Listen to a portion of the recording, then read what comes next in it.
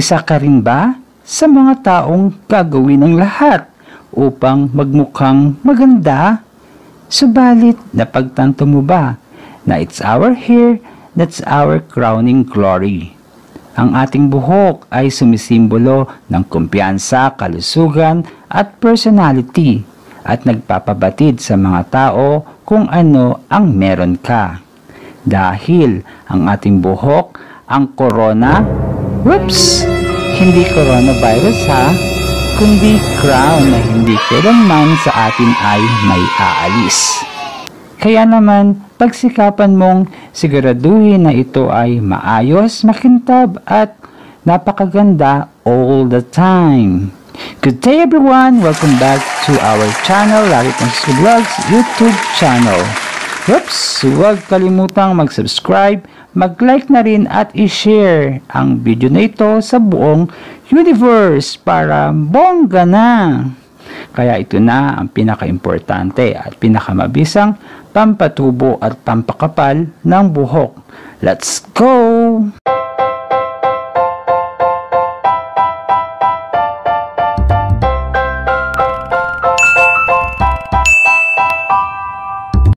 Wala nang mas gaganda pa sa makapal na buhok na makintab dahil sa natural health. Subalit ang hair fall at kalaunan ay pagkapanot ang isa sa common problem na hinaharap ng marami sa atin. Kabilang na ako doon sa panahon ngayon.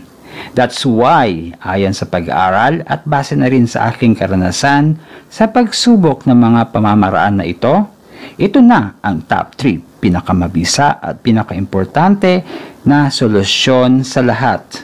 Una, coconut milk o gata ng nyog. Sa palengke, mabilis na makakahanap ng gata ng nyog. Alam mo ba na mayaman ang coconut milk? Sa vitamins at fats na malaking tulong sa pag-moisturize ng buhok at mayaman din ito sa potassium na napakahalagang sangkap sa pagpapatubo ng ating buhok. Ang gata ng nyog ay mayaman sa proteins, essential fats at minerals tulad ng potassium. Kaya naman, ang paghuhugas ng buhok gamit ang gata ng nyog ay sobrang tulong at mahalaga sa pagtigil ng pagkaputol ng ating buhok. Kaya naman, paano gawin ang prosesong ito? Naku naman, napakadali lang kakailanganin ng isang cup ng coconut milk. Una, i-apply ang gata sa anit gamit ang brush. Ikalawa, ibalot ang buhok ng tuwalya o hair cap. Ikatlo, after 20 minutes, banlawan ang buhok ng malamig na tubig. Malamig na tubig ha. Kaapat, then mag-shampoo. Maaring gawin ang proseso once a week. Number 2, 2, 2, aloe vera. Ang aloe vera ay nagbibigay balanse sa pH levels ng anit at buhok sapagkat ito ay pumapasok ng malalim sa ating anit at sa ating buhok. Dahilan kaya effective na nakakapag-promote ng hair growth o pagtubo ng panibagong buhok. Paano ba gawin? Of course, kailangan ng dahon o stalk ng aloe vera plant. Una, hugasang maigi ang ating buhok. Ikalawa, kunin ang pulp content mula sa dahon o stalk at ikuskus ito sa buhok. Ikatlo, ibabad ito sa loob ng 15 minutes. Kaapat, pagkatapos ay banlawan ng maligamgam este malamig na tubig. Ikalima, gawin ito sa anit at buhok ng tatlong beses sa loob ng isang linggo. Wala stick, napakadali.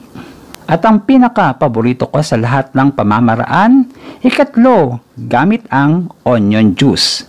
Talaga namang ang sibuyas ay nagtataglay ng antibacterial properties na pumupuksa ng bakterya na siyang sangkot sa scalp infection.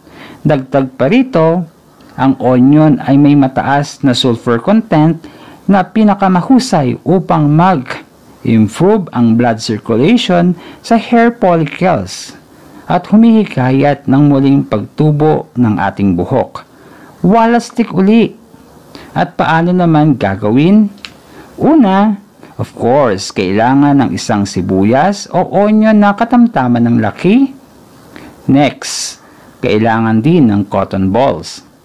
Katlo, katasin ang juice ng sibuyas.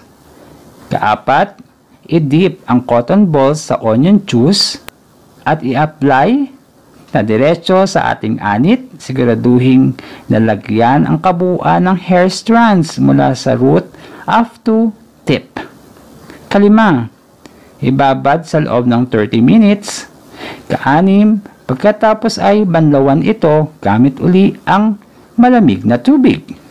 7. Of course, shampoohin ang buhok. Ang pagpapanat ng buhok ay maaaring makaapekto sa itsura ng isang tao at nakakaapekto sa level ng kanilang tiwala sa sarili, sandamakmak ang mga nat- natural remedies na may husay na maibalik ang paglago ng buhok at ang pinakaimportante ay gawin ang nararapat. At ang pinakamabisa sa larangang ito ay gata ng nyog, aloe vera, tatas ng sibuyas. Hanggang sa muli, magtagpo tayo sa susunod na video ng Larry Francisco Vlogs YouTube channel. Shoutout po pala sa channel ni Jenny May Marquez. Mag-subscribe na rin po kayo sa kanyang channel at kay Nad Francisco Vlogs YouTube channel. Maraming salamat po. Sa susunod, bye!